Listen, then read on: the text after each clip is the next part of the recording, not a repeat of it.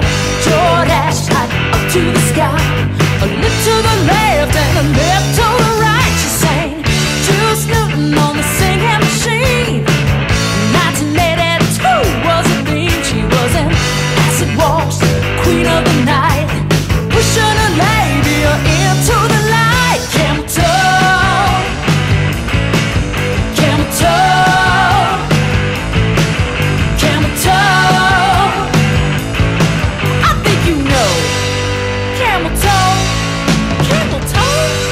you gotta go.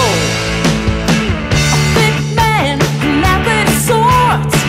he ordered coffee in his bicycle shorts. He had a huge up to both sides. Try not to look, there was nowhere to hide from his one up or two. Someone's making a fuss over you, yeah, Mr. Beanbag always says that you bring.